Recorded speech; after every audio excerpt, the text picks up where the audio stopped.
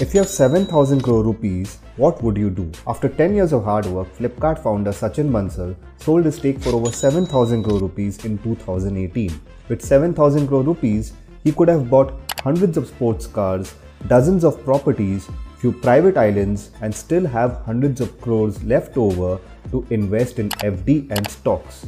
But he did not do any of this. Instead, he invested 4000 crore rupees into starting a new fintech startup called Navi to achieve his dream of building a $100 billion bank. People assumed Sachin was wasting his money in trying to compete with India's big banks. But Sachin proved all of them wrong as he made Navi IPO ready in just 4 years. For more stories like this, follow my page.